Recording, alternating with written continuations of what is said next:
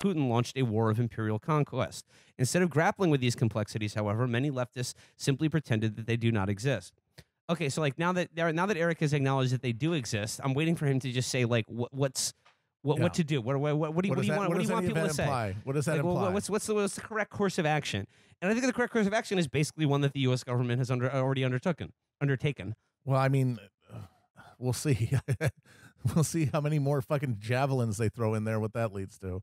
On Wednesday, the uh, uh, the DSA-IC voiced, its opposition to U.S. military aid to Ukraine, arguing that the provision of weapons to the Ukrainian government would escalate the conflict and prolong the war.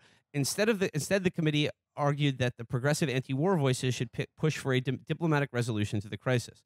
This basic line is shared by many progressive commentators and organization. In an otherwise thoughtful piece, the left-wing reporter Ross Barkan argues that liberals have fallen prey to crackpot realism, meaning a maniacal moral fervor for dead- escalating a deadly conflict, on the grounds that they support sending arms to Ukraine. Rather than aiding Ukraine's self defense, Barkan implores progressives to demand peace, which can only come with an agreement that both Ukraine and Russia can live with, a prospect that Western talking heads do not want to accept. In Jacobin, Branko Marcetic offers a, offers a tellingly elliptical version of the same argument.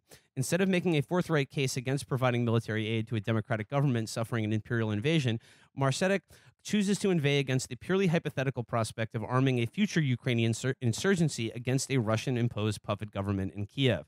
This maneuver shifts the terrain of debate into the left's comfort zone. Rather than confronting the tensions between socialist historic commitment to national national struggles against imperial aggression and its wariness of flooding war zones with what weaponry. left are they talking about? Like, is he talking about like the the Spanish Civil War? When you actually had like a, a Yeah. international coalition of like communist and like uh, popular front governments that were coordinating actions and and and like sending troops as opposed to now when you have posters? It's people just it's just posters. That's all we have here. What is our what is the historical obligation? To post? And, and you know like i mean like when he said like uh imperial aggression against a democratic state. And look like any country whose you know its borders are transgressed upon by like a foreign military and they're under like invasion and occupation i think has the like you know moral and political right to resist it by any means Well, I mean, necessary. again they're going to do it. They're going to do it one way or the other because they like- don't if they don't want to get invaded they will resist it if they can. Uh, but like to, to call like this is like you know like this is an imperial autocracy invading a democratic country. I mean like this is getting harder for levitz's side in the context of ukraine banning like i don't know pro-russian political parties several of whom hold like 44 seats in parliament or something like that. I Yeah. mean, when all you have is a hammer, though, too. I mean, the, the only policy suggestion here is, again, the same thing we have done for nearly a fucking decade, which is weapon weapon shipments. I don't think they have a problem with not having quite enough guns. I don't think that's fully the problem here. by the problem is that somebody somewhere is suggesting powerlessly maybe don't give them guns but yeah and like and again like i, I don't understand here because like the, the weapons are going to continue to flow they're going to keep getting military aid from the united states Yeah. Um, but he says, by columns end, Marcetic's case against turning Ukraine into another Afghanistan starts shading into an argument against providing arms to a sovereign government under siege, insisting that peace cannot be achieved through mil- a military solution, but only through a mutually acceptable negotiated settlement that guarantees Ukraine's territorial integrity and gives Moscow a road back from what at this point is looking like a disastrous miscalculation, while addressing Russia's longstanding security concerns. What all these analyses willfully ignore is that the clear relationship between Ukraine's military strength and the plausibility of such a settlement. Three weeks ago, Russia had no interest in a diplomatic solution that guaranteed Ukraine's territorial integrity. It aimed to dissolve the Ukrainian military and install a puppet regime. It was the Ukrainian army's unanticipated success in fending off a much larger Russian force that led the Kremlin to abandon those demands and entertain settling for Ukraine's neutrality. Nevertheless, Russia is still insisting on large territorial concessions, and its refusal to agree to a ceasefire calls the sincerity of its diplomatic posture into question. Should the fragile military stalemate between Ukraine and Russia break down decisively for the latter, there is good reason to believe that a mutually agreeable settlement will become impossible. I remember, like, I, I- saw a little bit of the back and forth between Branko and Eric on this piece. And the question uh, Branko uh, asks of Eric is that, like, in the context of the Iraq War, would you reg- would you regard America as like a reactionary imperial au- uh, autocracy um, invading a sovereign nation? And if that's the case, would you have been in favor of China and Russia selling weapons, planes, and you know anti-aircraft batteries to Iraq? Because you know it would strengthen their hand into like you know uh, uh, reaching a diplomatic peaceful solution with the United States, which had you know invaded it in a war of conquest. Right. Well, the thing is, is Eric's answer, by the way, was yes. That would have been good. damn. So, Okay. all right. So I mean, like, it seems like I agree more with Eric than I. I have a feeling though that if if uh, if uh, somebody in his uh, position uh, looking to have a future in media uh, wouldn't, uh, no matter how consistent it would have been and how fully baked it would have been, would have put that one out there for for or, or, uh, Yeah. consumption. I find it hard to believe that like that anyone in Eric's position would have advanced the case that China should have sold arms Yeah. to Saddam Hussein Yeah. to fight American imperial conquest and invasion. Would Eric argue that we should have zero zero sanctions, zero anything on Iran? Because I mean, it's obvious the real reason that we, you know, have any any real distance and animosity towards Iran is how they humiliated us in Lebanon, in their own country. Uh, their proxies making an asshole out of William Buckley, not the writer, but the CIA station chief.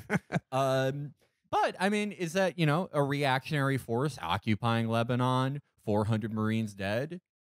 Would he have supported that? Would he support just rolling back any sanctions we have against Hezbollah and Iran? And of course, right now, I mean, you don't even have to get historical or hypothetical. We have the Yemeni war telling you that this ironclad uh, commitment to countries resisting reactionary invasion that, that means nothing Yeah. because, like, we're literally helping them do it.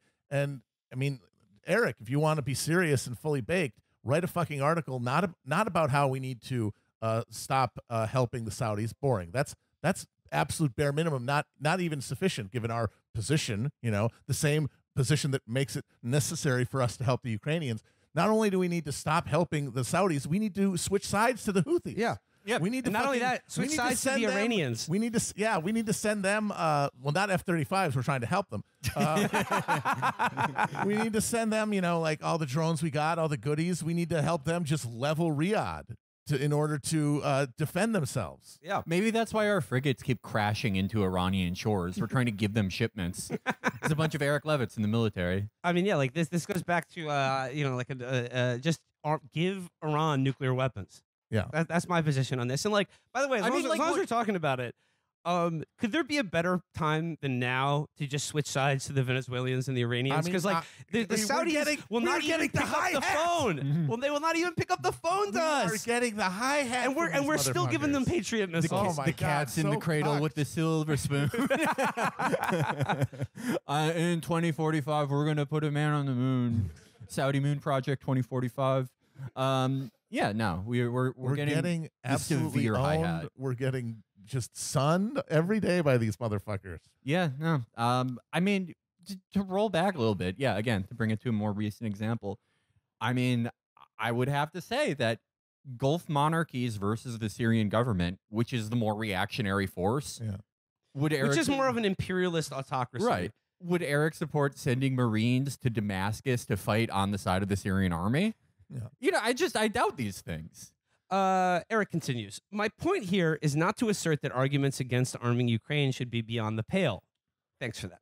Oh, thank you very Thank- much. thanks, Eric. Thank you. You- uh, He's putting he's putting his discourse gun in I the back uh, of his yeah, holster. no, I just because like like you know like I I- I'm not trying to be too hard on Eric because he clearly believes that I am in the pale and not beyond it. Thank Because you know, I mean, if he had said if he had said if he had said positions, uh, you know, so certain positions that I hold that we voiced on the show are beyond the pale, then I would be real sore. oh my god. I would be real Dude, sore. Once you're out of the beside pale, you can't get back in. Yeah. That's what's tough. Such policy entails real harms. These weapons will not disappear on the day peace is declared. Many will find their way onto black markets and from there to places where they kill and maim innocents. Further, if one deems Russian military victory a foregone conclusion, then there is a case that minimizing needless death requires abetting Ukraine's swift defeat.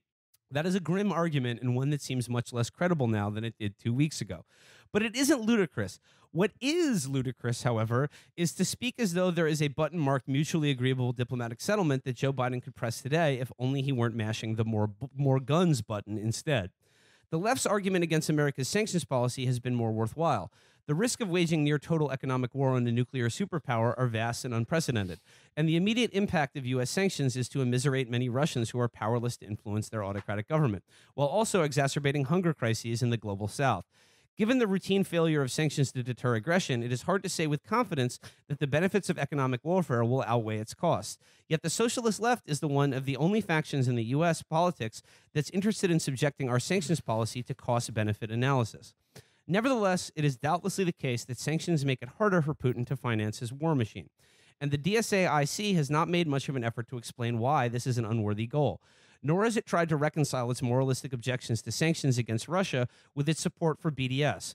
In theory, there are plenty of ways of rationalizing these stances. One could believe that broad based sanctions are more likely to work in Israel since the Israeli government is democratically accountable to much of its population, or that economic warfare against Russia carries a nuclear risk that economic warfare against Israel would not. Well, I mean, Israel's got nukes too. yeah, yeah. D- democratic accountability, that is a funny way to describe the Israeli government. Yeah, accountable to whom? Uh, I guarantee you, I guarantee you, if America really put Israel under an economic blockade, some of their nukes would wind up in, let's just say, certain hands that are ready to use them Yeah. in a major American city. yeah, some some characters that you may have missed from the '90s and even 2010s. Uh, so, uh, that last argument strikes me as dubious. It is hard for me to believe that if the United States decided to kick Israel out of the dollar based financial system until it withdrew all settlers from the West Bank, the American left would mobilize in opposition on the grounds that sanctions severely impact working class people.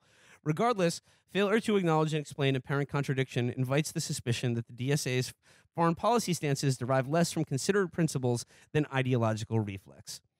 The American left contains multitudes. Some of its factions have navigated the present crisis with humility and curiosity. No hyperlinks involved. No hyperlinks Great given in that, in that No statement. treats, no Yeah. no article treaties. Yeah, for you got- good you got- boys and girls. What the fuck? Article plug closed up.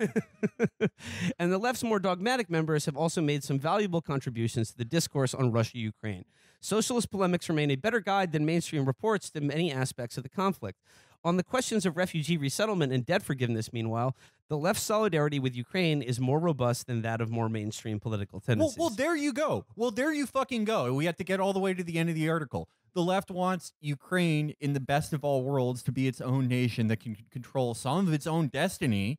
You know, rea- reality permitting. Uh, meanwhile, the forces actually in power want Ukraine to be this thing that you stick IMF money into and that your son can take it out of, or your friend, or whoever, whoever it is, whether you are a Democrat or Republican, whether you're Brandon or you're uh, what what did he call Trump? Uh, President, President, President Trump, or President Trump, or or or Hillary's son-in-law. You know, getting all those ins- Hillary's son-in-law got all this inside info for Ukraine for his hedge fund and lost And money. By the way, do you remember by, that? by Ah, going Ch- long on Greece. yeah, good work, Chelsea dude. knows how to pick them, man. Yeah. And by the way, as long as we're talking about um, just taking money out of the Ukraine, God, remember Hunter Biden's natural gas job, his natural no, gas no, he, he job. that's not patronage. Okay, he found that job on Indeed. He knows. Look, he smokes crack, but he knows a lot about your Ukrainian uh, natural gas markets. That way, I I want to say that I love the Bidens because it's they are they're in the fold of like Clintons and all these evil families, but they they always fuck up. They all like Joe gets to be president, but eh, in a time where he's only living in his own memories after he's gone hollow. Hunter gets like the patronage job that like every eh, like Clinton relative and friend gets.